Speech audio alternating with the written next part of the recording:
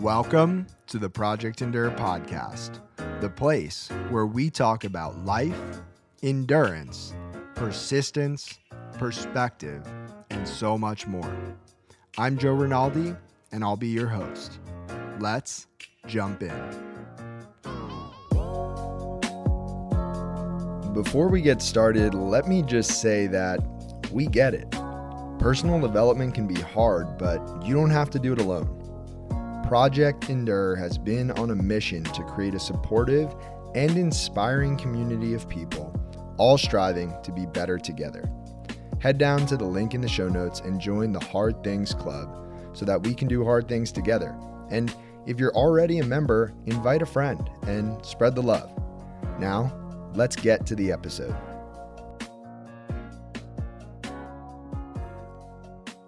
Welcome back to the Project Endure podcast, episode 121. We have myself, Joe Rinaldi, and we have a very, very, very special guest in the great state of New Jersey, Mike Harkins. Mike, how are you?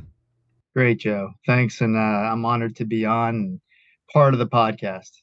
Of course, it was inevitable that this would happen at some point, And it just so happens that we are recording this podcast about two weeks after what I assume is one of the hardest things you've ever done. And we'll get to that later. I won't spoil anything. Uh, but to start off, I would love if you could just introduce yourself to the listeners who might not know who you are.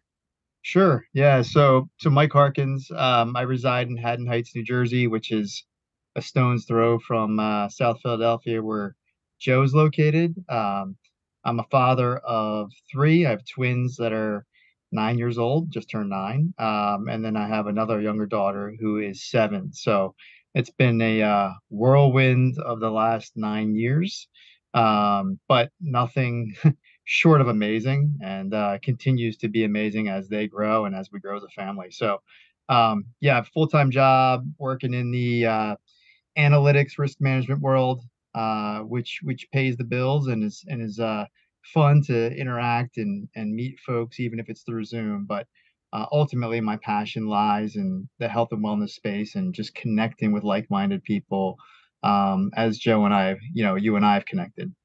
Absolutely. So before we hit record, we were talking about a mutual connection of ours, Todd Kuchia. And uh, Todd was episode 60 of this podcast. And it's so wow. funny because you guys have so much in common. And I think you probably realize that. But the first time I met you is very similar to the first time I met Todd. Uh, and Todd and I actually haven't met in person just yet.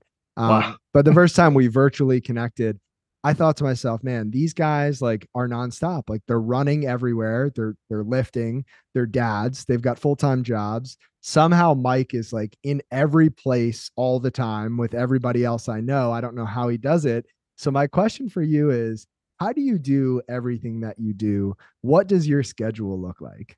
Sure. I mean, that's a great question. So, I, I would say the foundation of my life is built with consistency and obediency, um, mm. as well as prioritizing me time. So, in order for that to happen, it, it starts early mornings. Um, I'm a full believer, as I know you are, with a 3 to 3:30 a.m. start. Um, and that just didn't happen over the past year. I mean, that's been rooted over the last probably seven or eight years. Um, where prior to that, so prior to having children, I, I still was a firm believer of um, what I used to call a 5 a.m. crew, mm-hmm. um, which was showing up to the gym at five o'clock every morning. So, you know, back then it was more of just getting after some weights, cardio, conditioning, running wasn't really in the in the in the picture so that it required a lot less effort in the morning. Really, it was just wake up. You know, um, I, am a firm believer too of prioritizing my day. So what I do when I wake up at three, three thirty, and even back then, say four, four thirty, taking a look at my calendar, right, for the day, for the week. Um, did I miss any emails through the prior night from West Coast deliveries? Um, and then feeling good and secure, like, okay, great, I have a grasp mentally of my day mm. and where my day is going to go. Now let's get after the me time, right? Um, and I'm also a firm believer in if you can get through the hardest part of your day in the morning, the rest of the day, whatever obstacles you come across are going to seem a lot easier to overcome, um, not just mentally, but even physically. right? right. So with with kids and a family and you know, you're constantly, like you said, on the go. Um, one of the things is like I want to be prepared both mentally and physically. So typical days obviously start very early. Um, I try to get my workouts in, you know, summertime right now since they're out of school. I have a little bit more flexibility um, working remotely. But when they're in school, it becomes even more rigid of a schedule uh, because there's that priority to get home, help get them ready for school. I take them to school. My wife is a uh, occupational therapist, so she leaves every morning by 6:45. Um, so I usually have to be done all my sessions by 6:45, get them off to school, and then I start my day like officially. Um, and then from there, the roller coaster ride begins. So really, the, the priority prioritization of time is that morning window, say mm-hmm. from 3 till 8 a.m. It's a five hour window. So maximize it. Yeah. So I love that. I'm the same way. I could not imagine my life without a calendar. Uh, I don't know how people exist without calendars. Yeah. Uh, almost every minute of every day is scheduled out. And like you, I look at it first thing in the morning. I also look at it before I go to bed at night, make sure that I just have that image in my mind of what my day is going to look like. Um, and I think the the old adage, failing to prepare is preparing to fail uh, applies in in this circumstance where somebody is not actively managing their day and planning it out with intention. With that sure. being said, I think the next question a lot of people would uh, ask you is, what time are you going to bed if you're getting up so early and doing all these things every day? Sure. Yeah, that that varies. There's no set, um, say bedtime, let's call it, because you know, with kids that are you know less than 10 years old, we we try to keep them on a schedule, obviously, which is hey, I, the goal is 8 p.m., but let's be real, it never happens. Um, so that 8 to 9 p.m. window is, you know, playing referee, trying to get people ready for bed, plan them the next day, um, you know, have those discussions about how the day was to calm them down, all those mm-hmm. good things.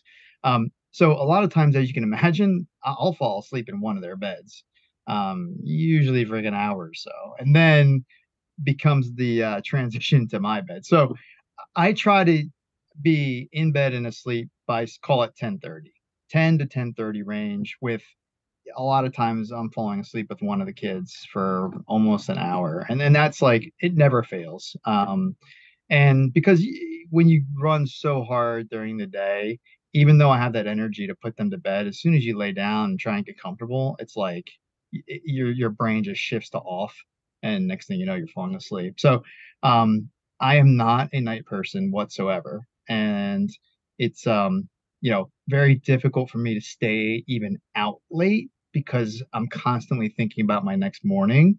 Um that's what drives me that's what fuels me even on weekends even on vacation. Um matter of fact vacations for me the mornings are even more important because i feel like i can really enjoy those mornings without having to think about what's going to happen that day other than spending time with my family. Um, so that kind of sums up you know how i look at a going to bed and then sleep. I do value sleep. I know i don't get enough of it. Um, ideally it's seven to eight hours which i fully embrace sleep as a recovery tool. Um, and so i try my best but it's very difficult to get those hours. Yeah that's fair. That's fair. Now to shift gears a bit and get to the heart of this podcast. Um, like you know, we talk about hard things. We talk about yeah. all sorts of of hard things. And while I think I have an idea of what the hardest thing you've ever done on purpose is, I don't know what the hardest thing that you've had to handle is. So the thing that you did not get to choose for yourself, what is that for you? What's the hardest thing you've ever had to handle that you didn't choose? Sure. So great question. And, you know, I think we're going through it as a family right now, um, which has been unexpected and something you never anticipate going into parenthood. Um, but as you know, the children get older, you start to discover and come across real life situations, um, even with your kids that you never anticipate. Maybe you never went through it yourself, or you never expected it to happen to you. So, um, with my twins, you know, it's a boy and a girl, and uh, boys are so much easier, really, at this stage of life. Nine year olds. I mean, my son's just getting into sports over the past year, passionate. Like a year ago, couldn't get him to watch anything with me other than like a few seconds of a game.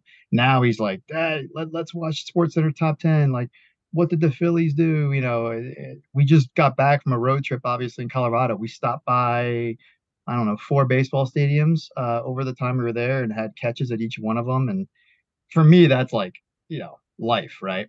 Um, and then my daughter, his sister, a little bit more emotional. Um, she's aging quicker, you know, maturing sooner than my son is. So it's like a balance of those two worlds. And, you know, unfortunately, um, and I say this unfortunately because I never expected this, that in second or third grade, there will be so much girl drama um, amongst her and her peers where it's almost like a type of bullying. Um, there's there's any given day during the school year, there was posturing for who would be sort of like the alpha girl in the group. And oh, eh, what ends, ends up happening, unfortunately, is my daughter, um, because she's so passionate and she's so loving and caring, she takes everything to heart. Um, and with that, there was a lot of hard days. Um, so it's not like a hard thing to accomplish. It's just a lot of hard days emotionally and trying to make sure that her soul and uh, her heart is taken care of. Um, so much so that in our little town of Haddon Heights, which is small, there's three schools, um, elementary schools, and we actually had to make the decision to move her from one school to the to another school, just for a fresh change, um, give her a new outlook, a new perspective, um, and you know we had to enter into counseling for her, um, which we attend, and the things you hear coming out of that are not the things you hear at home. Mm. Um, and and those are the hard hardest things, right? Because it's hard to hear, it's hard to digest, and then it's hard to know how to handle it. Um, because as sort of a, a a man that I believe I am, which is I have control, um, and I know how to fix things. Like this is where I need to put my guard down. I cannot fix this. There's nothing I can do that says, all right, let's figure this out together and let's fix it. Nope this is like a totally new transition in life where I need to be patient. I need to be empathetic. I need to listen and I need to meet her where she is at. And um, not that that's hard for me to do, but it's hard for me to witness. And it's hard for me to kind of pull the reins back and and try something different emotionally in life. So um, it's probably not the hard thing that you expected, or it's not what I expected but um, but we're getting through it as a family, and uh, it's getting better. But it certainly has been hard. I one can't imagine what that feels like. Um, two, I think one of my biggest hidden fears, and this is crazy because I'm not a parent. Uh, right. I'm a I'm a dog dad, but it's different. Um, yep. I always thought, you know, one day uh, when you have kids and you have to let them go and they go to school and they're around these other people and you can't control that that terrifies me terrifies yeah. me and i'm not even there yet and right. so what is what does that do to you on the inside when you hear these things and you see her hurt and you know that you can't change that sure yeah it's a great question um so because i have three and they're all relatively in the same age group when it comes to school, um, every day is a different adventure on the feedback we get from them. My youngest daughter and my son, it's relatively the same. It's low key. Really, it's it's we're trying to get more information out of them on a day to day, on friends, on things they're learning, activities they like, and then and, you know my my oldest daughter, um, that's that's the part where it's like okay at pickup each day okay, what are we expecting here? Like what's coming at us? Because it, it has nothing to do with um, you know, things in the in the classroom. Really, there's no interference with that. Yes, I would say there's a bit of a uh, attention um, seeking and even maybe an attention disorder because of what's surrounding her, which then takes away from academics, right? So that's something that has to be addressed, and and that's something where we can put structure into place. Um, so knowing that is helpful because I'm great with structure. Um, and and there's non-negotiables with that. And, she, and my daughter understands like, hey, like if math is behind, this is what we're gonna do at night. Um, and yes, we have to do some battling to get on pace with that, but but we do that. Um, it's the other side of it. It's okay. What happened on the playground today? Mm-hmm. You know, mm-hmm. what did one of the girls say to you that made you upset? Um, and then, you know, it's the other side, which is the parent side, because you start to think about it and you're like, if these girls are acting like this on the playground, what are they seeing and hearing at home? You know, and we're in a small town where you cross paths with with other parents day to day between sports, between the pool, between going to a local restaurant or a local store. Um, and a lot of times I know the parents and I'm like, wow, like the parents are great. Like, where is the daughter learning this or why is she acting like this? So those are some of the the daily parts of when they're in school that it's difficult. Yeah. Uh, so I have a couple thoughts. One is last year I went to speak at a local middle school and I spoke on the topics of overcoming adversity and perspective and gratitude, et cetera, et cetera. A lot of things that are near and dear to my heart. And at the end of my talk, there was a time for question and answer. And so I was prepared to answer anything and everything about my story, uh, the topics I spoke about. And to my shock, uh, nine out of every 10 questions were about bullying. Um, mm-hmm. and, and these, these kids, these, you know, 10, 11, 12, 13 year old children were asking me these deep questions about bullying. Uh, and, and it really broke my heart. Um, and again, I had no connection to these kids and, and it really affected me emotionally. Um, yep. And so I just want to say, I think that it is a problem and that I'm sure there's a parent out there listening to this who can relate on a deep level to what you're expressing. Uh, and then on the flip side, I had this experience when I was in middle school, nothing to do with bullying, but I was in this honors geometry class and I came home after my first quiz and I got a D and I'd never gotten anything below an A all throughout elementary school and you know beginning of middle school and so it, it really it knocked my confidence down a few levels and came home crying to my mom and I said I want to drop down to regular geometry and she said sure honey that's fine you know we'll drop down to regular and then I went up to my room and I heard my dad get home after a long day in New York City he commuted home a couple hours he was tired I'm sure and I heard him talk to my mom and then I heard his footsteps come up the stairs to my mm. room and he said, uh, You're absolutely not dropping down to regular geometry. He said, We're going to figure it out. And I remember after that long day of work, he got down on my bedroom floor and he relearned geometry with me and showed me that it was possible to do that.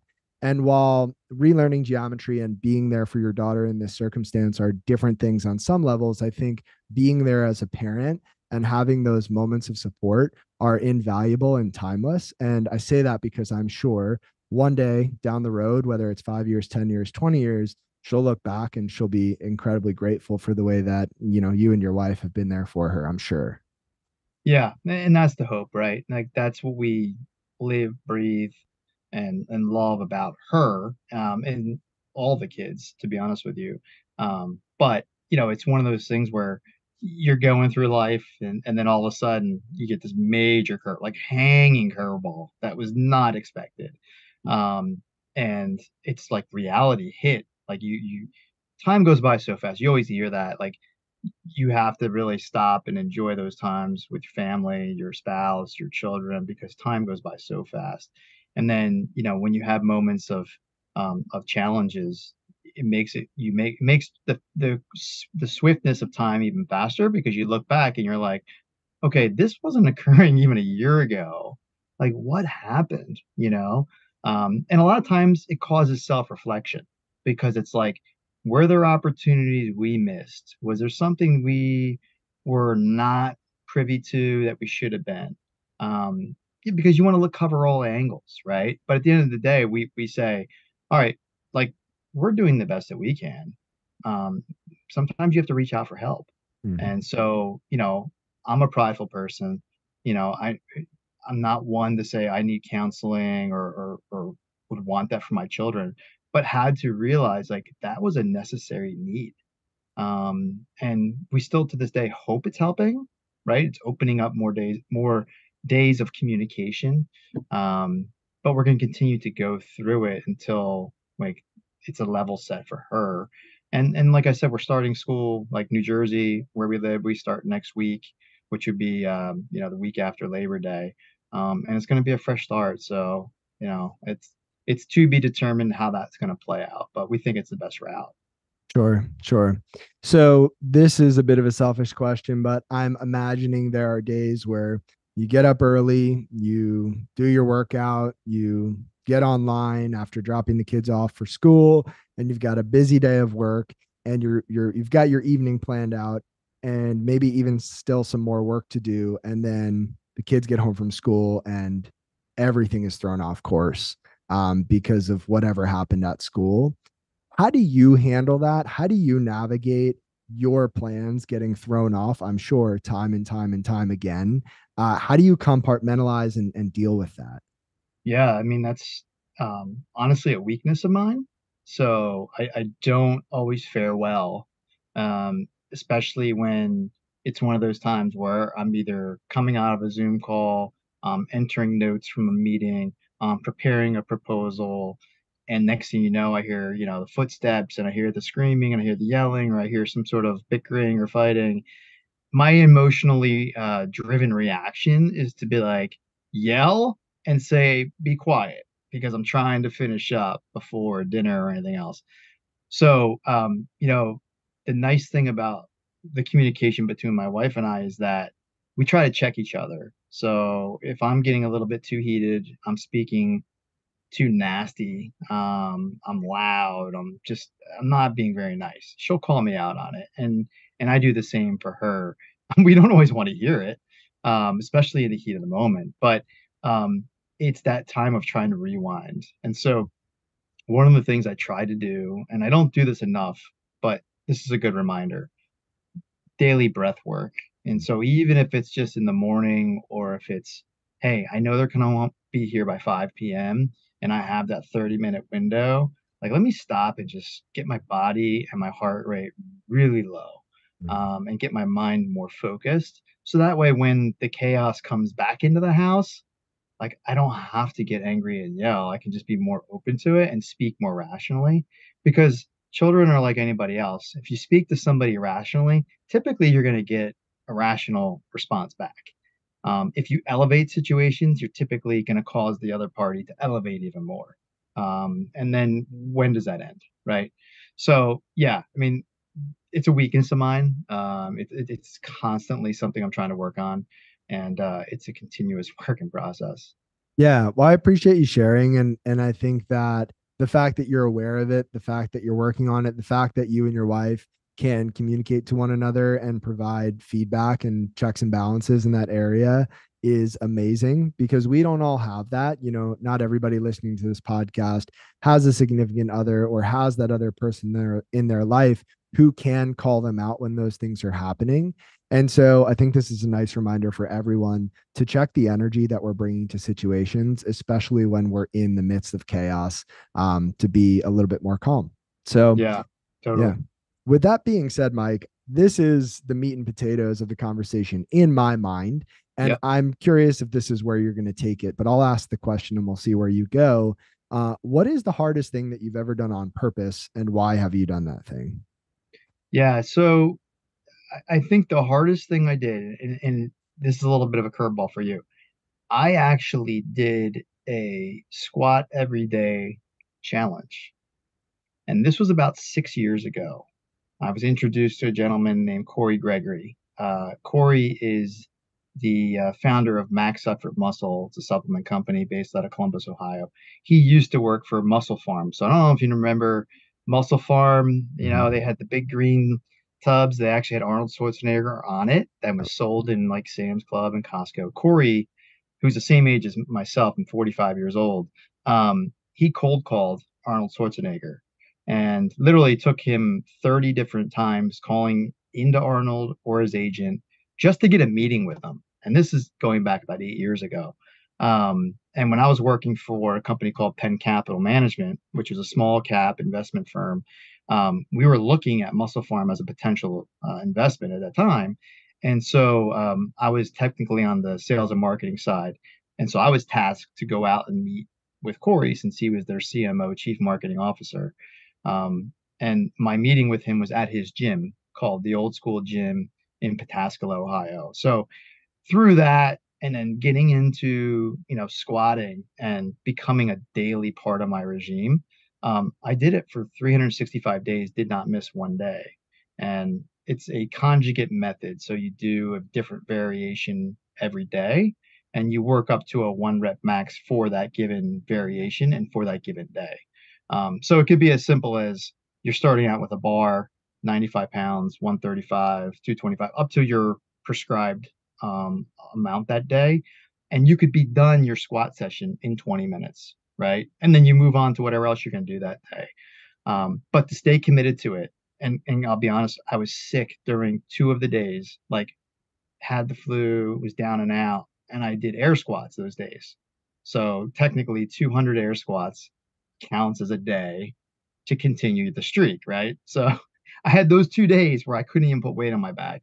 Um, but I did the full year. And it's not just growth in, in in being able to squat better form, more weight. It really was the mental challenge.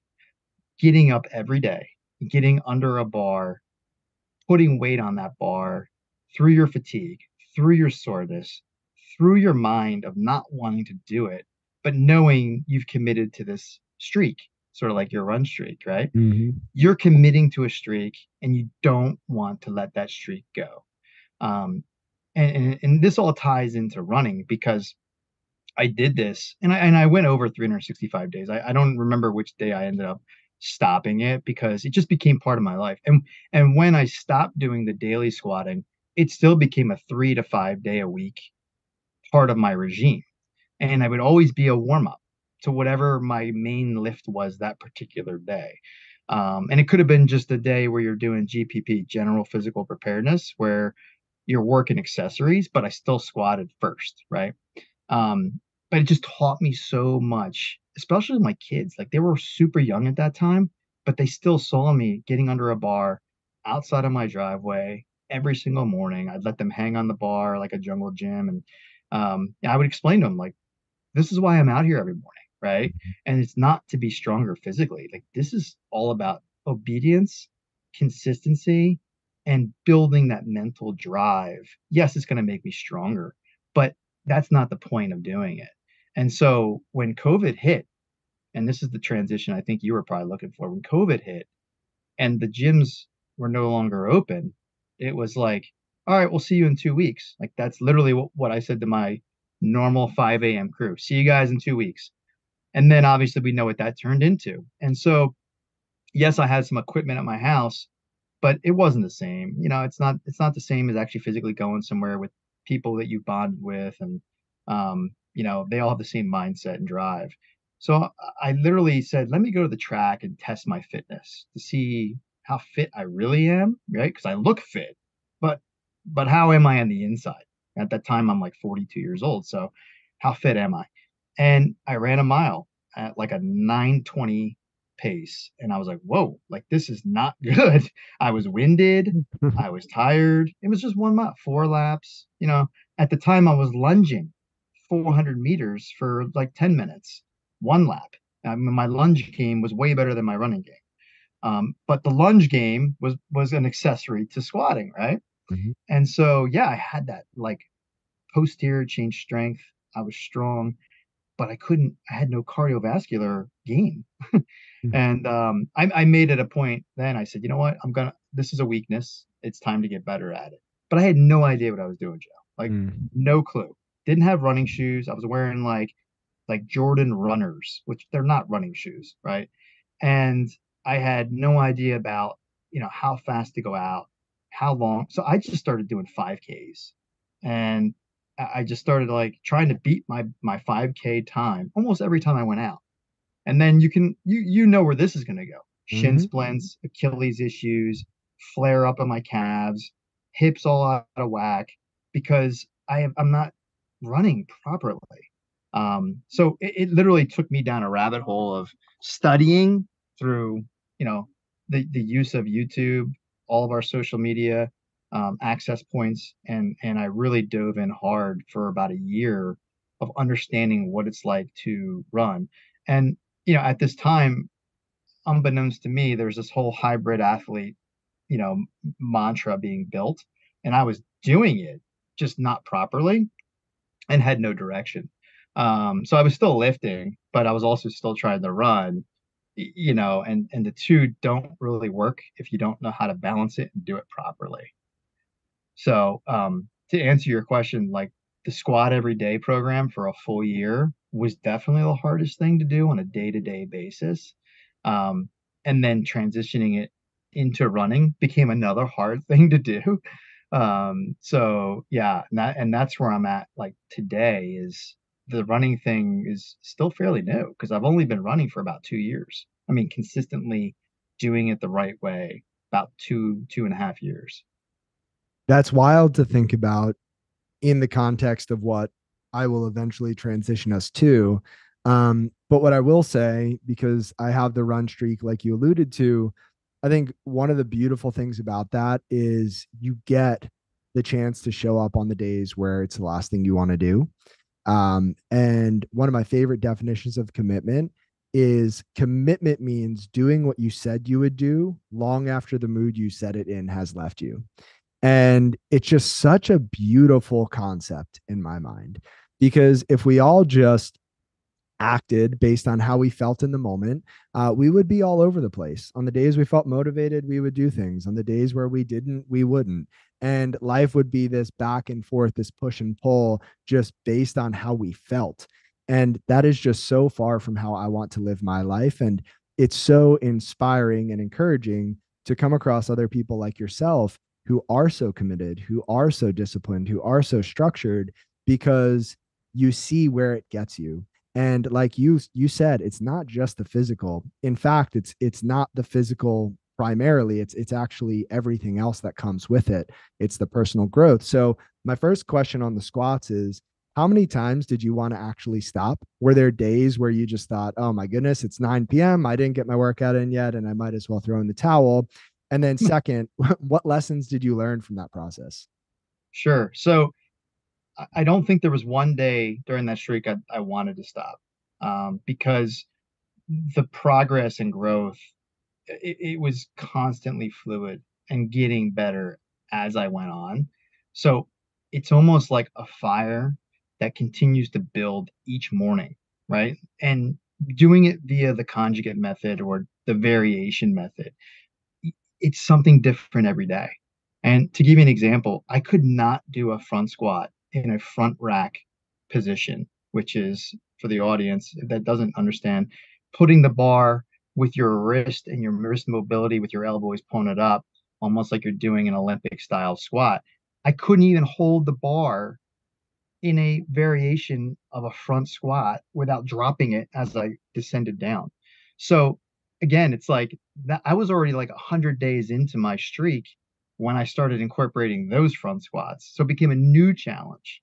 So the best part about that was constantly learning the variations, perfecting the variations, learning how my body felt and worked under the stress of the bar, of the weight, and then increasing that weight as you get stronger. But what's even better is then you can start bringing in bands like resistance and you can use chains and you can use you know dead stops where you're starting from the bottom of the squat position and pushing straight up and then come there was endless amounts of variations which kept it interesting so for me it becomes stagnant or stale when it's just repetitive same thing every single day so for me what i try to do is find those variations even in life especially with running i mean there's not a day that goes by that I'm thinking, okay, what can I do different today? My route, my shoes, my socks, you know, my attire. Like, what am I doing that I can change it up a little bit? And then obviously, just a small little hint of change can make that next day more intriguing. Mm. so it keeps it fresh, even though there are little things and more in my mind than anything else. Um, the biggest challenge, and I'll be honest with you with the squatting, was yes, I always did them in the morning. But if for some reason there was a morning I couldn't, or it was a weekend where we had like plans and everything else, but I wanted to continue my streak, then it became finagling the schedule with without getting much resistance resistance on the home front. Mm-hmm. Um, so that that was probably the biggest challenge. And those days, it was literally a 20 minute session. mm-hmm. and it might have foregone, uh, you know, a warm up, a good warm up. It might have been just like, all right, set it up and let's go, mm-hmm. or grab, you know, a kettlebell and just bang out 200 air squats with a kettlebell, maybe throw a vest on for a mm-hmm. little bit more weight, um, and then chalk it up and move on. Yeah. So, you know, uh, yes, many times I didn't want to quit, but there was there was things around me that were were pushing me towards that, and then it's just work around it. Mm. And so, if you had to take away a few big lessons from the consistency of that yeah. of that challenge in that season, what would some of those lessons be? So, I, I think number one, it's resilience, mm. right? So, mental resilience, um, working through aches and pains, um, being able to know that those pains or whatever those aches may have been are part of the process. And I met a gentleman named John Broz. He uh, has a gym in Las Vegas called Average Broz, where he trains Olympic style athletes.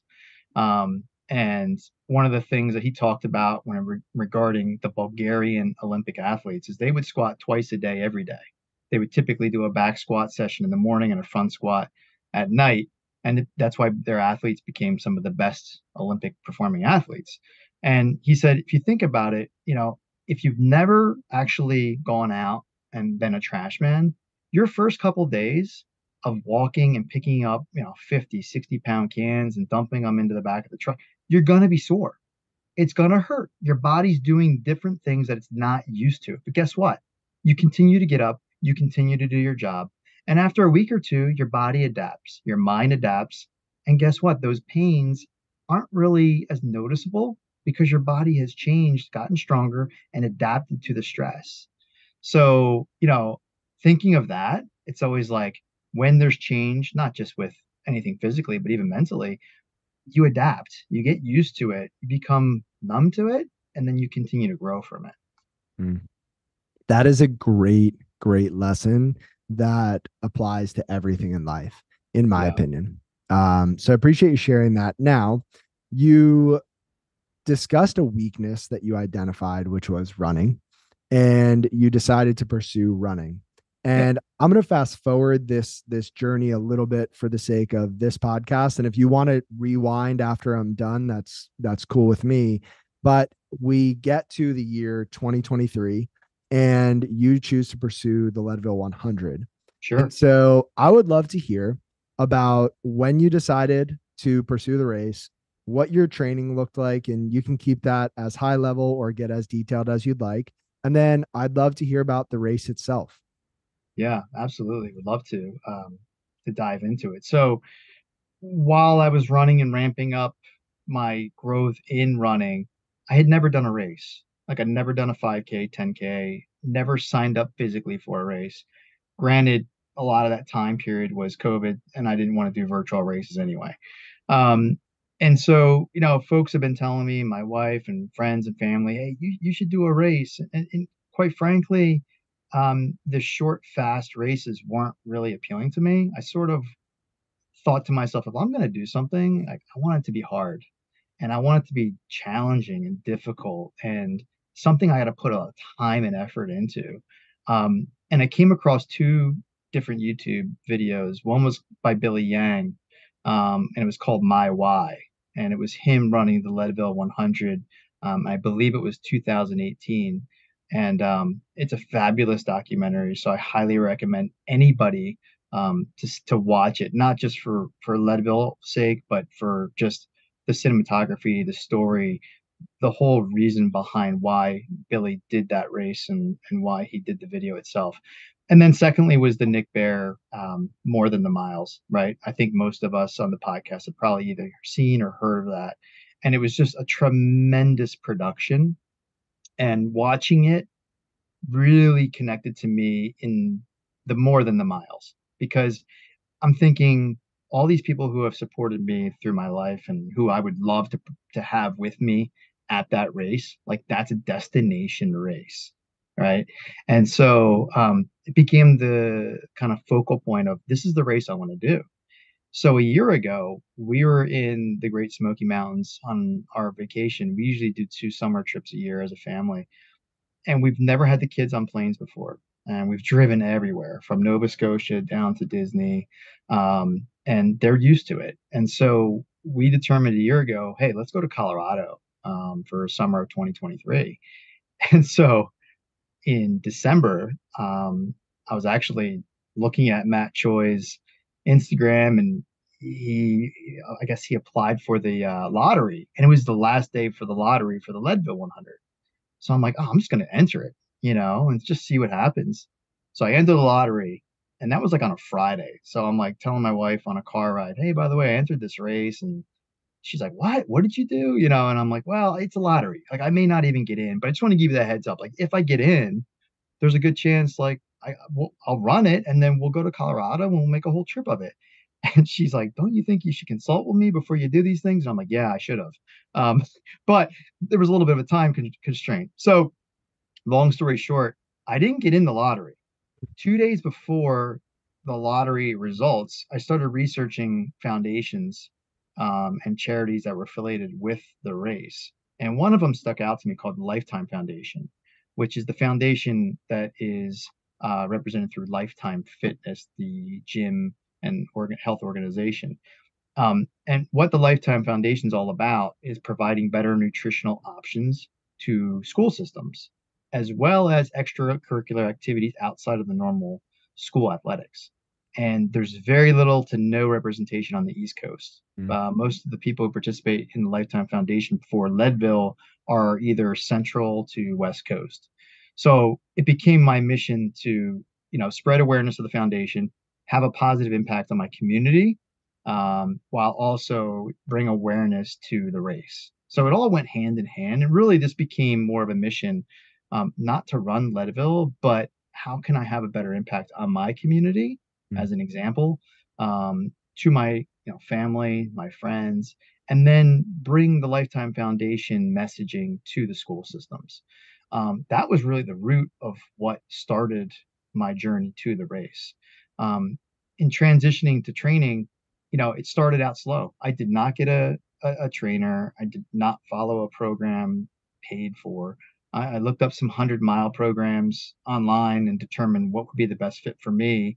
Um, I'll be honest, the hardest thing for me to do, Joe, was transition from my four to five days a week of weight training um, while running at, at the same time, trying to balance that, knowing there's no way I can get the miles in that I need to while still going to the gym four to five t- days a week. Um, and that transition started in March when I went to um, HPLT, High Performance Lifestyle Training, uh, with Brian Mazza. And really the driver for going was one of the speakers was Adrian Macdonald. And Adrian, um, if folks don't know, he won the Leadville 100 in 2021 uh, as a rookie to the race, and then in 2022. So he back to back won the race and spoke at HPLT um, in November, which I attended. And um, the coolest thing is I got to spend time with him one on one time, like had breakfast with him. Um, you know, we had a, a, a, GORUCK hike the one morning. I got to spend time with him, pick his brain. And it's two, di- two totally different dynamics on how to look at training, especially for running. Um, and I just took everything that, that he provided and, uh, and sort of put that into motion. And two big takeaways from Adrian for what he told me never never have done a race before. He knows I live on the East Coast and he is from the Boston area, went to Gettysburg College and ran there. And he said, look, you know, if you can build up to doing 80 to 100 mile weeks and do that consistently over a period of time, you don't have to do any large one run sums. Like maybe if you want to do a 50 mile, that's great, but you don't need to. Um, if you can hold consistent with high mileage weeks and do a, a bunch of back to back type of uh, runs on weekends, A, that's one thing you should try and do. And then B is get up into the mountains. So for where you and I live, um, Adirondacks and White Mountains mm-hmm. are both accessible.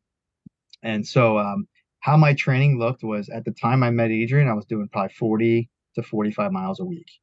Um, I came back in April, uh, met with um, a guy named Austin Myers who lives in Austin, Texas he had just run the Rocky Raccoon. He was in Philadelphia for a week. We ran some miles together, talked about his training, and a light switch just went off where, all right, it's time to go hard.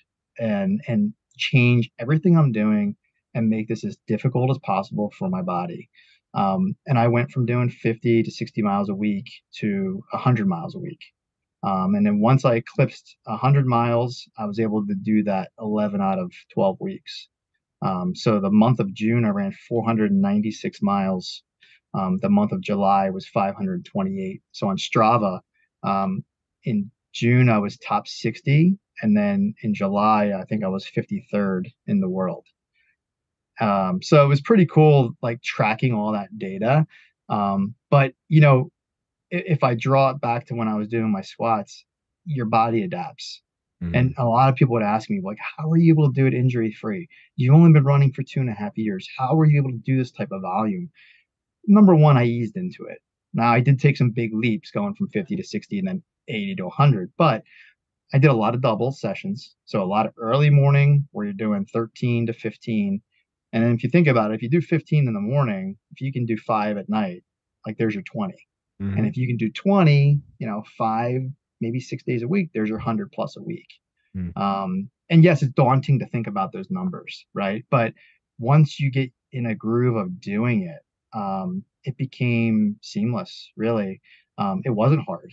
It, it, the, the hardest part mm-hmm. was just getting up, fueling for it, and, and then just getting out and getting it done. Because every time my feet hit the ground outside at three, four in the morning, it became my time. It became total peace. Um, and then the word is used a lot lately, flow state. But really, that's what it evolved into. Um, and then your fitness just grows tremendously. So my training was unconventional, um, very different. I did not have altitude training, so I did a lot of runs in in peak hours of the heat. So if I did the bulk of my miles in the morning, I would try to save some for like middle of the day when it's hot, it's humid, and your body's really struggling, uh, making it difficult to breathe, uh, dealing with circumstances of, of, of sweating, needing to balance my hydration, my sodium intake, my electrolyte intake. Um, all of that became almost like a science project mm-hmm. to see how my body would react. Um, I did do a sweat test, and I am a salty sweater. I was, um, you know, around 2,000 milligrams per hour. I would be sweating out of sodium. Um, so that became a focus of mine. It was overloading sodium through Himalayan sea salt, in addition to electrolytes, mm. in addition to a BPN G1M, uh, you know, carbohydrate supplement. Um, and that would be in the morning, afternoon, and night, as well as nutrition. Um, so it really became like like I said, that science project of balancing.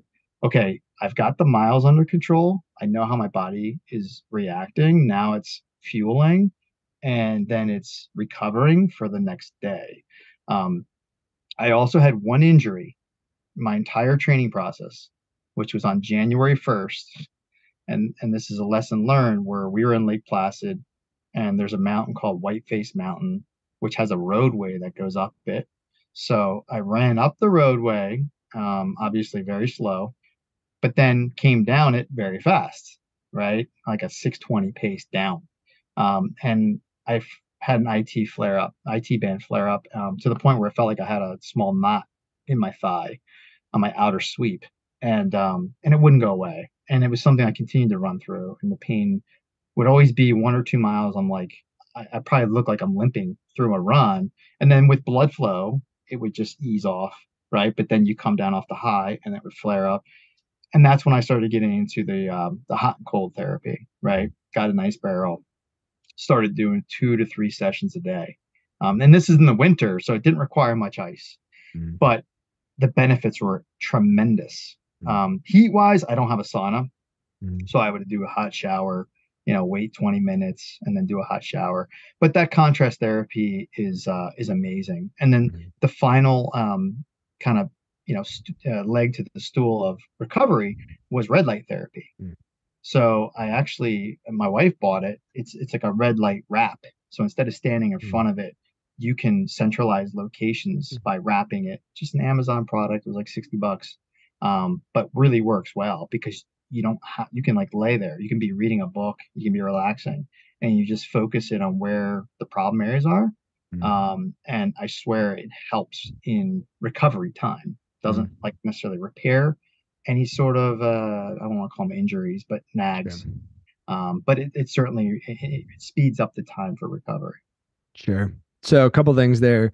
Uh, at this point in my run streak, I often feel like the beginning part of almost every run is me deciphering am i hurt or do i just need to keep running a little bit uh, yeah. i think it's like almost a universal runner thing um, and then also you mentioned two names i just want to highlight austin myers episode 50 of this podcast amazing human and brian mazza episode 71 of this podcast amazing human um, and so it's cool to see the web that gets weaved uh, through the world of social media and also just through the world of health, wellness, and people who are doing hard things. Um, now, with all that being said, Mike, so you get to the race, and I'll let you tell the audience how it went. And I'd love to hear a little bit about why it went the way it went in in your view, and then I have some follow up questions for you. Yeah, sure. So I was ready to run Leadville for probably two to three weeks prior to the race. I mean, physically, mentally, um, I was there, right? Mm-hmm. So we went out about a week early. We drove out to Colorado, and that was purpose to get acclimated to the altitude. Um, now, I visited Leadville in June. I spent about eight hours in the town. I was doing a work slash training uh, balance trip um, but I did get to spend uh, three full days in Colorado, ran 45 miles in those three days at altitude, felt fantastic. So I knew that my training was working from a sense that my red blood cell count was building and my fitness was strong. I actually ran with Adrian on my final day in Colorado. And this is a funny quick story because I was trying to get in touch with him, like, hey, what what's the you know what workout are you doing? And he lives in Fort Collins, which is same elevation as Denver, and they were doing some relatively flat run in town. So I'm like, cool. I'm like, how many miles? Oh, they're doing like seven to eight miles. I'm like, that's that's great. I'm ready for that. And then I failed to ask like what paces they run at, right? So I show up and it's him and two of his buddies who went to Colorado State, who also they ran at Colorado State. I mean, these guys are runners, true and true, right? And uh, and we start out at a conversational pace of 7:15, and I am like dying inside. You know, I'm trying to withhold the emotion as I'm fighting through, struggling, and I can hold the pace, but can I talk? And how long can I hold this? I don't know. We made it about three miles, and I just had to tell him, I'm like, oh, let Adrian, you guys, I'm holding you back. Go ahead. And I'm just going to do my thing and we'll circle back. And we met back at like, you know, seven or eight miles total for each of us. But it's one of those, another one of those checks and balances like check your ego, don't hurt yourself, stay true to the process. Nobody's really going to care at the end of the day. Mm. Um, so, again, little lessons along the way. But from that trip, I realized, okay, I'm good with altitude. That's not going to be an issue for me. Um, and then when we did get out there, I was already full taper mode. So um, Monday uh, morning before the race, I met with a guy named Daniel Flores. Um, amazing, another amazing individual who we both followed each other's journey. Um, you know, he inspires me. I think I inspired him in certain ways. And you know, our first morning we just ran like three miles together. Um, and both of us were kind of in the same position, like, ooh, air's a little thin. All right, you know, a couple miles. Um, and then I continued to do three, three and a half miles each day. Felt really, really good. Um, Friday before the race, there was a shakeout run um, in town. Another amazing time spending like, I don't know, two hours with about 60 people. Some were running, some were pacers, some were there representing brands. Um, and that's where I first met Joey Muccio, um, who then I ended up running 24 miles with the next morning uh, at the race. So, um, you know, Saturday morning, 4 a.m., shotgun goes off. Let me tell you, it was the most emotionally driven time between that 3 and 4 a.m. The streets of Leadville are flooded with people, mm. friends, family, locals, um, just cheering everybody on. There's the countdown, there's the national anthem, the, the headlamps are going off it, there's so much tense emotion with everybody getting ready for months and months of time they put into it. Mm. Um, and yeah, I was nervous just in the sense that I'm like ready, ready to do this. you know. Mm-hmm. Um, and I actually hooked up in the start line with Joey and then another gentleman named Mike Idela. And Mike lives in Boulder. He knew the course pretty well from running the Silver Rush 50 there and just generally being out there and, and knowing what the course would be like. I knew the course only from the map. Mm. So totally big difference between looking at a map, studying a map for months, knowing the cutoffs, knowing the aid stations, knowing where I'm going to go versus, all right, now I'm actually running it. Um, and the cool thing was those first 20 to 24 miles, the three of us stayed together the entire time. Mm. Like we took gels at the same time together. We hydrated at the same time together. We would power hike, run, you know, and did everything simultaneously. And the strategy was brilliant because A, we were doing it together. So like the bond that we formed over those few hours is unbreakable. Um, and then secondly, it was we were navigating the course together.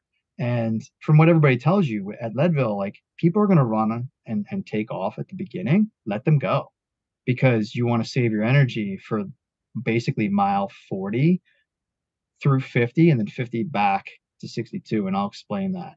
Um, but when you start out, your first aid station is at mile 13, which is called May Queen. It's a mm-hmm. complete blur. Um, this was the first year that crew um, was not allowed to get there by car. So folks had to be bussed into it, which oh. means they had to be there by six or six thirty in the morning. Um, so I opted not to have crew there, and I did a drop bag instead. Now the problem is when you get there, it's it's just chaos because everybody's still fresh and everybody's either looking for their drop bag or refilling their hydration bottles and you know trying to get a snack in and everything else. And meanwhile, there are still people there, right, that got busted and they're cheering you on, and it's just it's unbelievable.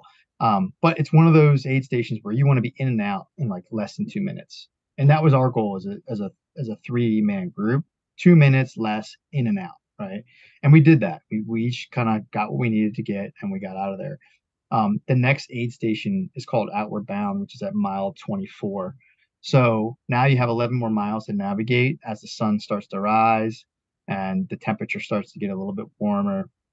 And, you know, I think during this time period, I was good. I mean, I had a, um, a, bladder hydration in the back of my pack, which was just water. I had two flasks in the front of my vest, which was G1M, electrolytes. I did a acai beet powder extract, um, and then I also added a little bit more salt. So it was more sodium, more carb based, more electrolyte based. Um, and I what I would do is balance those. So if I took a gel, then it was completely water after that for about a half hour. Then I would hydrate with the front pouch uh, flasks for the carbs and for the electrolytes. And that balance was working for me just fine. And that's how I train. So knowing that I train that way, I wanted to bring that into the race environment. So we get the outward bound at mile 24. Um, at that point, our group sort of disbanded a little bit because we were at different positions in the race.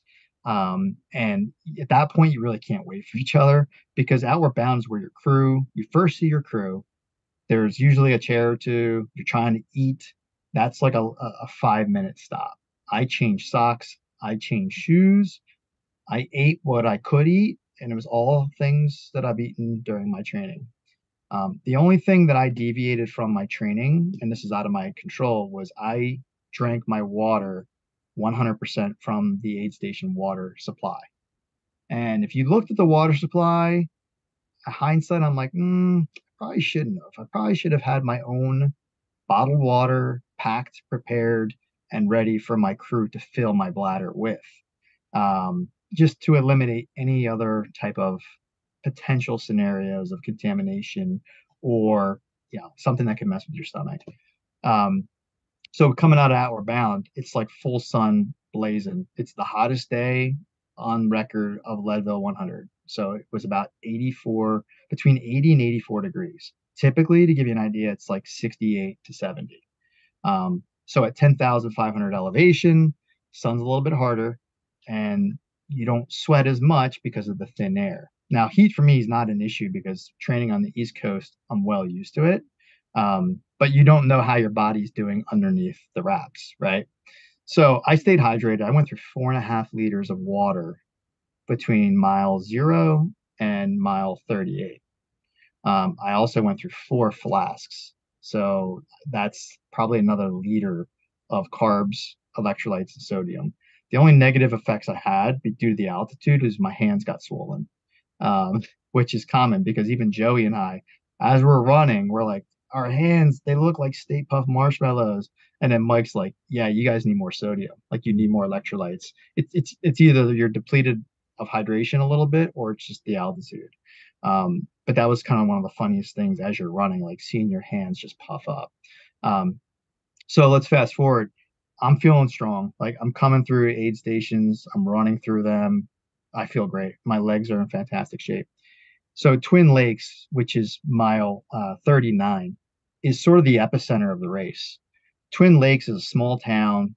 Um, you know, normal population sub 50, right? So the race takes over the town. It's sort of like a mini festival.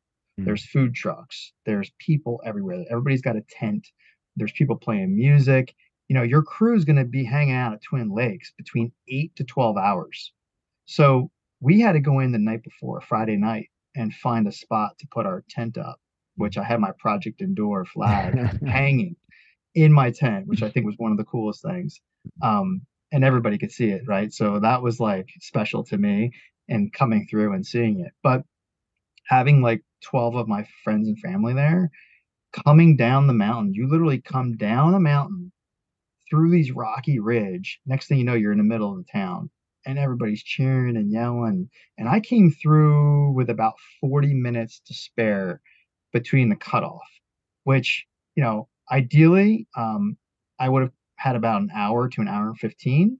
So I was a little bit behind schedule in that sense but still, I was planning on being in and out of Twin Lakes in uh, in 10 minutes, which was again a, a sock and shoe change um, to keep my feet fresh. Try and eat, uh, refill my pack because at mile 39 at Twin Lakes, you then have to go to what's called Hope Pass, which is a 5,000 foot mountain. Um, you have to climb up Hope's Pass, hit the summit, go down Hope Pass to get the Winfield, which is mile 50 at mile 50, you then have to go back up Hope Pass and back down it to return to Twin Lakes, which would put you at mile 62, which allows you to pick up your first pacer.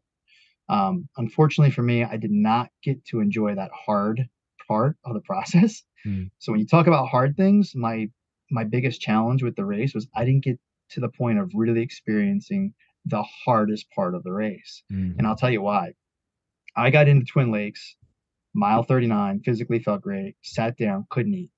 So mm. everything that my crew's thrown at me that we pre-planned and pre-packed just wasn't appealing to my stomach. Mm. And and I didn't feel necessarily hungry, but I, I knew I had to eat because I can't go eight hours, you know, climbing 10,000 invert and then getting close to around seven, eight o'clock at night by the time I would come back without any food. It's just that doesn't work. So um, I was nibbling on a peanut butter and jelly. I was consuming my carb drink, um, but I had to get out of the aid station. Like it's, you know, you can't mess around. It's really sub 10 minutes, get in and and out. And so I got out of there. My crew packed my bag, peanut butter and jelly sandwiches, my gels, everything that I'm used to eating and, and supplying. And I felt pretty good. I got the Hope Pass. And as I started to climb, it became somewhat of an eerie feeling because a lot of people were getting sick. A lot of racers were off to the side, um, you know, vomiting, uh, having dry heaves. Um, could have been a combination of altitude, heat, could have been lack of hydration. For anybody, it, it's an it's an unknown. But the point was is that it, it became eerie because I felt like my body was not welcoming calories. And so I quickly knew I needed to consume calories. I stopped. I tried to eat a peanut butter and jelly sandwich. It just came right back up. Um, I waited 10 minutes, kept going, tried again, same thing. Kept going. And then my hydration, the only thing I could take down was water. Mm. But the water wasn't doing anything except keeping my mouth dry, uh, wet because the air is so thin and so dry. Even taking a sip of water from your hydration pack, you would be winded and then your mouth would just get dry. Uh. So I had to keep drinking water, which I had plenty of, but even my carb drinks weren't holding. Um, and I knew it was trouble because it was slowing me down to the point where I was almost crawling up this mountain and moving so slow. And, you know, people are off the side. And I'll, I'll tell you two things. My mind never went towards, I'm not finishing. I'm not, you know, I, I need to stop this. My mind never went there. My body never went there. My legs were strong. Like my sweet spot for this race was Hope Pass. Like that was my jam, was like climbing this mountain.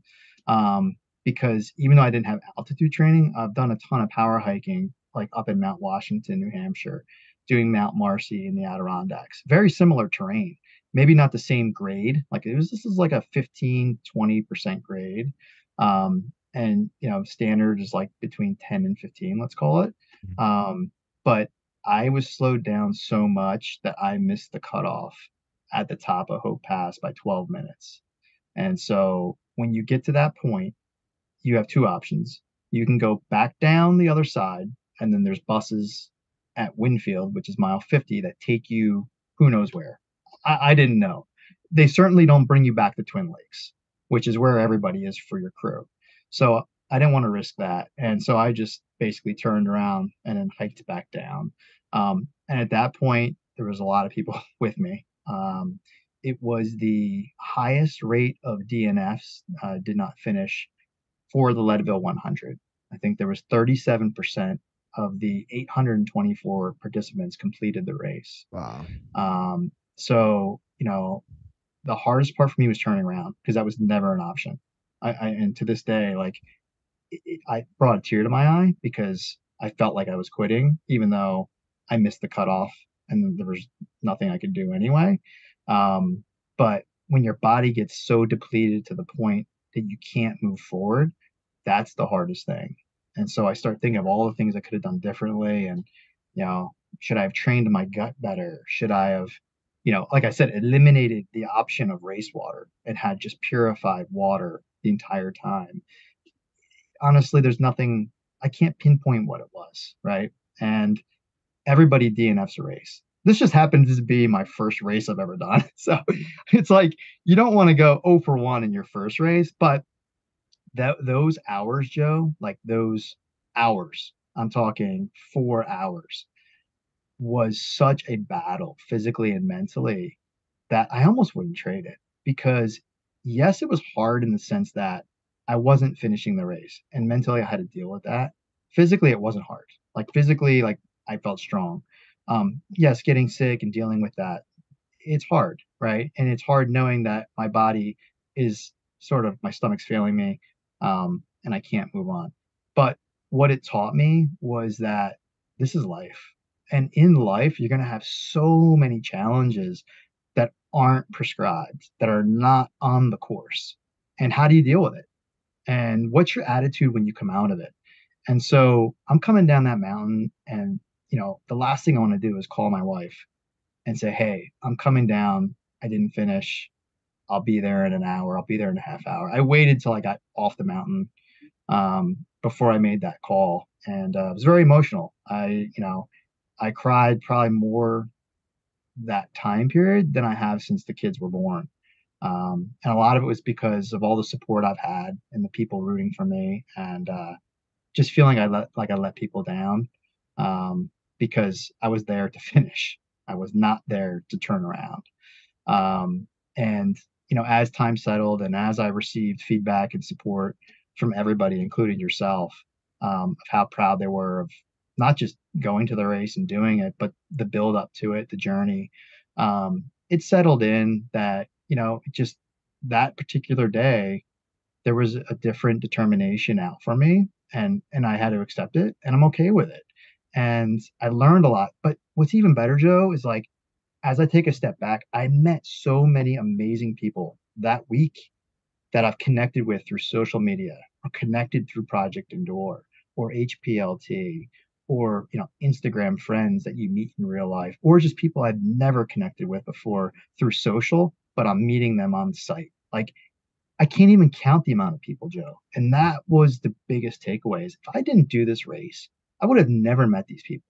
I wouldn't have put myself through a test and showed my children how to get through difficult times and how to deal with um, you know not a loss but deal with a major challenge of not finishing something you set out to do and guess what the race is not done because i came home oh well, let's fast forward to the day after the race i ran 10 miles with 1200 vert with one of my so-called pacers dan marchese who was supposed to pace me and oh by the way i met dan at project endure and then hadn't seen him for three months. Went out to a race called the Loopy Looper here in New Jersey because him and a bunch of guys from Project Endure were running the race.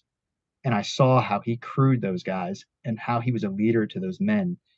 And I said, I need you at Leadville. Can you be there? I lost two pacers um, three weeks prior to the race at the same time. And within an hour, he booked a flight to Denver and was there and it was amazing. Like just so many amazing things came out of the race that the result doesn't really matter. It doesn't define me. It doesn't matter. The growth is still there. It's going to get even better as as as a result of the race. Um, and then to be honest with you, the next day, you know, going back into town, picking up my drop bags, seeing all the guys that I actually ran into during the race, hearing everybody's story, there was a common theme that between that mile 40 and 60 is where a lot of people did not go further, whether they were cut off, whether they um, were sick, whether they were injured. I mean, it was sort of an eerie feeling, but we all kind of went through it together. And so that next day and that next day after, I'm still meeting people who were in the race, didn't finish. And what brought joy to my heart, Joe, was that there was two two guys I was really rooting for, right? One of them was Daniel, and waking up the next morning, following him through the tracker and seeing him finish that race just was amazing. And then secondly was Joey, who I ran with, spent a good 24 miles with. Now I I already knew Mike didn't finish, and I think he made it like 62 miles, um, and had similar issues. I think that that I did as well. Um, but I did know Joey was still in the race, and I followed his finish, spoke with him the next day, and just was so happy. So, you know, so many positive things come out of that race, and it's everything that I wanted going into it, other than finishing it. Mm. So I, I hope that kind of tells the story of of the Leadville 100. That was beautiful, Mike. And I mean, just to go backwards from some of the things you mentioned, I mean, so Dan uh, Marchese, episode 80 of this podcast, I actually just was with him two days ago. He came down to Philadelphia to run some miles. Um, amazing human being. And the fact that you two connected through Project Endure, through this community means the world. And it doesn't surprise me at all that he would book a flight to Colorado in less than an hour after you asking him that question. Um, yeah. Daniel Flores, a client of mine, a friend of mine, will be on the podcast. Joey Muccio will be on the podcast. And so all these people you're mentioning are just, again, intertwined in this web of people that are just pushing limits, doing hard things, trying to find that next best best version of themselves. And I love what you said about not finishing the race, but that's the only part of this that didn't go as planned because everything else that you got out of this is so positive. Um, you know, I have a couple clients who are running a last man standing race that's coming up the weekend after we're recording this podcast. And one of the phrases that one of my clients has been repeating to themselves has been time out, don't tap out. And I think that's a really powerful phrase that goes beyond just a last man standing style race. Uh, it applies to Leadville and it applies to everything else in life Time out, don't tap out, meaning don't choose to quit. Let the circumstances tell you to stop, right? If you don't make the aid station, if you don't make the cutoff, so be it. But you will climb up a mountain on, you know, an empty stomach because you can't take down anything and give your best effort and claw to the top to be told that it's time to stop, but you're not going to make that decision yourself. And I think that's such a cool, cool mindset to have. So I appreciate it. Yeah, no, it was um it was the only option, right? Um and I wasn't injured. Uh so the mindset was just keep going and um you have people who were passing you telling you, "Hey, you're not going to make the cutoff." Like just so you know, you're not going to make the cutoff. And not in a negative way, but in a way of, hey, you might want to consider going back down um, because obviously you're moving very slow and you look like you're hurting. Um, but again, it was to your point, like I'd rather be told by somebody and know for sure versus not. Um, and so, you know, the biggest takeaway for me, Joe, is lessons learned, right? I'm a rookie to this game. I really am. I mean, that was my game one of however many games I have in the future. Um, and yeah, it was a massive game, but it's one that I will certainly tackle again and go back with a different perspective, a different plan. Um, you know, knowing a course is tremendously different than not knowing a course and knowing how to navigate it and pace yourself. So, um, a lot of amazing things out of it. And, you know, the lead up to it, Joe, you and I connected essentially because of Leadville 100 and my mm. training mm. as part of the process. Mm. So again, I, I can't look at that race other than a success because of all the amazing people that I've met. And we're just getting started. Like that's the beauty of this. Everybody that I've met are just new friends essentially, but amazing individuals. So I look forward to the growth. I look forward to building and seeing where the journey continues to go. Um, and then I always like to say, like, what's next, right? Like, Leadville 100, it's done what's next? Like, what's the next challenge we can put in front of us? Um, and that's sort of my mindset is I dedicated a lot of time to that one race mm-hmm. um, and loved every part of it, honestly. But now it's like, okay, shift gears. What's next? Yeah. So the natural question is, what is next? And I'm not sure, sure. If, you have an answer just yet, but um, my follow up question to that is, what comes to mind for you when you hear the word endurance? Yeah. So let me answer with what's next. I was um I was texting back and forth with Adrian Macdonald, who's running UTMB over in Chamonix, France. Um, starts Friday of this week. There's never been an American male to win the UTMB race, and it's really like the most prestigious ultra marathon in the world, um, with the top performers in the ultra space. Um, so a, I'm pulling for Adrian. I know his goal is a top five finish, but uh, he could make some serious noise over there and he was texting me asking me about leadville what happened um, i had dinner with him the night before the race in leadville before he had to fly out to france and we talked strategy and i know he was excited for me and um, and so i appreciated the fact he's actually messaging me from france but he said something and i know exactly what he meant and he's like so you know what else are you going to do this fall with your fitness and i knew what that meant because I'm still extremely fit and um, and the training hasn't stopped. So um, I immediately shifted gears and said, okay, what's more local to me that's still challenging? And there's another race that I've been looking at for a while. It's called the JFK 50. Uh, it's down in Boonsboro, Maryland. Um, it's a fairly challenging course, speedy course, but fun, 50 miler. David Goggins has entered it a few times. Um, and uh, we're, we're currently looking at the family calendar because it's right around you know thanksgiving it's, it's november 18th um, and if and if if i can fit it in i'm certainly doing it um, and then there's we talked about the loopy looper race which is around cooper river park in, in new jersey overlooking philadelphia the same company called endless endurance um, they're doing a race called the frosty looper uh, and that's in december and it's an eight hour uh, same format. Just you run the loop for eight hours, however many miles you can get, you get. Um, so I'm definitely doing that for sure. Um, I actually like running in the winter, so I don't mind that at all. So I have those two races on the docket, and uh, and just continue to train as if I have a race this weekend. I'm just going to continue to focus on that because, you know, as your mindset sh- mindset shifts into um, sort of a, a strategic you know, role, so does your body. And my body's just adapted. Um, I'm going to add in more strength training, um, but I'm still going to keep my mileage up. Maybe not 100 miles a week, but we're gonna we're gonna keep the mileage up for sure. And so, to, for my definition of endurance, you know, and we we think about the word endure, and you know, for me, it is overcoming obstacles, continuing to push through limits, mm. because there's the word limitless, right? And I firmly believe that. is that there's really no ceilings. Um, people have achieved phenomenal successes. I mean, even if I look at Leadville, there's something called the Lead Man, which is, you know, you you do the 100 mile bike race, and then there's a 10K the day after you do that. Then you do the 100 mile run, and then you know, it's like a conglomerate of events. And there's people who do that on a regular basis.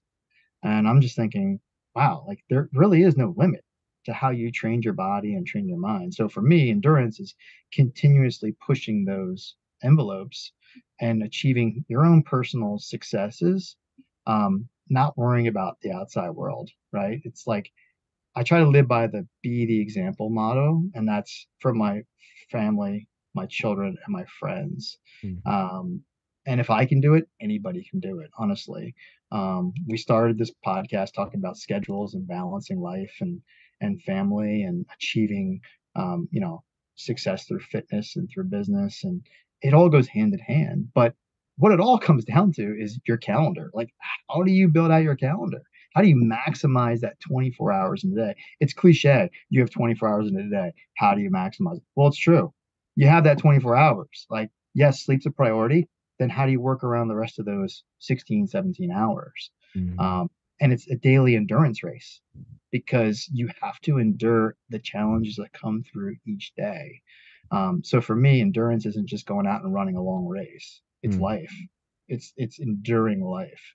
Um, and I think about that word because of you, Joe. Like those times I'm out there and I'm doing a 25 mile run or I'm doing a 27 back to back, I think of just endure. Mm. Just endure. I mean, all you have to do is finish this. Mm. And that's enduring the moment. So for me, that's what the word means. I love that definition. And, uh, you know, I, I really appreciate the fact that you think of anything related to Project Endure while you're out there logging those miles. Because, Mike, when I open up Strava, when I'm on social media, when I see what you're up to, every time I think, wow, he is putting in the work and I'm honored to know him as a friend. And uh, I don't know if you know this, but when you were over in Colorado and I'm over here on the East Coast communicating with whoever I'm communicating with. Even Todd was one of these people. Um, you know, it was wild to track you because when the race didn't go as planned, I was shocked because I saw from afar all of the work you had put in. And in my mind, there was nobody more prepared than you were. And so the fact that as you were doing all of that, you were thinking about this means so much. Um, and with that being said, as we land this plane, wrap up this conversation, you know, my favorite question is is this last one because I think it it finds people where they really need it. And so there are people out there going through all all different kinds of things. You know, some people are struggling with things out in the open, others behind closed doors.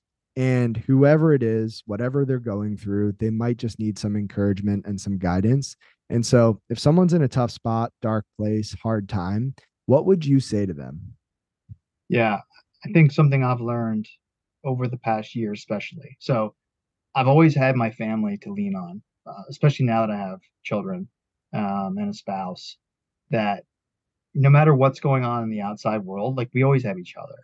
And I've been very fortunate and blessed, and I feel very grateful to have that. Outside of that, it's so important to have an outlet of community, which I didn't have because I'm son of, I'm sort of an unrelatable dad in the environment of the town I live in.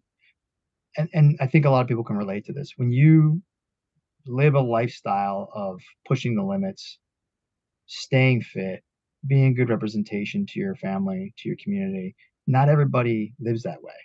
Um, some want that, but don't want to put the work into it. Some want that, but won't communicate it.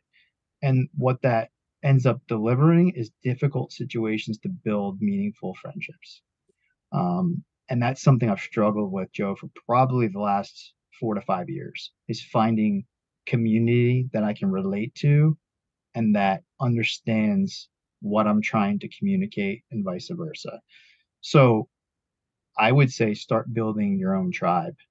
Build find your community, whether it's through social, whether it's you know, through networking, whether it's through LinkedIn, but find your people, hold tight and grow those relationships because when there are hard hard times, those are the people that will be there for you more so than the people that may be close to you proximity wise. And so I've found even in the short, even just call it six months, um, I found that I now have a good 10, 20, 30 people that I can go to and they will be open to communication, discussion. Some will be even willing to meet, go for a run, get together for, you know, protein shake, let's call it, right? I mean, that's the beauty of community. It may not be where you live, it may not be in your neighborhood, but it's out there. And it's like, find it. If you need to, build it, but latch onto it and continue to grow and thrive in it because, you know, mental health is so important. And I feel like if you can have a small community, um, you know, that you can relate to and they understand what your goals are and your passions and your drive. And the biggest thing is they'll hold you accountable. I always ask for that. Like, hold me accountable. You know, I went through eight months of Leadville training. Not many people held me accountable. They just saw what I was doing and would say very positive things. But I really didn't have too many people challenging me. Like, hey, great run. But like, why was your pace this? Or what were you trying to attain with this? Or, you know, just anything to hold me accountable. So find a community that's going to do all the things, including hold you accountable, um, because those are real friendships. That is the perfect bow on this conversation, Mike. And speaking of community, speaking of connection, if there are people listening to this podcast and they want to get connected with you, they want to follow along with everything that you're doing, where's the best place for people to do that? Yeah, I would probably say, um, you know, Instagram, um, and my handle's MP Harks. So um, the letter M, the letter P, and then H A R K S is my handle. Um, th- that's the best way. I mean, yeah, I'm on Strava. You know, I I uh, I have a Facebook account. Really, I started. I didn't have Facebook until I started the training process, and the brands that I partnered with were like, okay, as part of a partnership, you need you need to be on these social platforms, um, which I wasn't. So uh, that's another thing I had to learn. But um, yeah, I'm welcome to connecting with anybody and everybody because through this journey, what I've learned is that there's a wealth of knowledge out there that you can't attain through a book or through the internet. Um, and, you know, I feel that I have knowledge that folks would want, and I feel the same way. I'm looking for knowledge from others as well that live and breathe everything we're trying to do. There you have it. Well, Mike, I appreciate everything that you're putting out into this world. Keep doing what you're doing. I am excited to keep growing our friendship. And uh, this has been a really, really great conversation for me as a person, and I'm sure for everybody else out there listening. So thanks. Yeah, likewise, Joe. Appreciate it. If you enjoyed this episode of the Project Endure podcast, go ahead and subscribe, leave a review on your platform of choice, and share this episode with a friend. It helps us get more conversations like this out to more people like you. We appreciate you, and we'll talk to you next time. And one more thing if you're looking for a community of people all striving to be better together, check out the Project Endure Hard Things Club. The link is in the description below. We'd love to have you.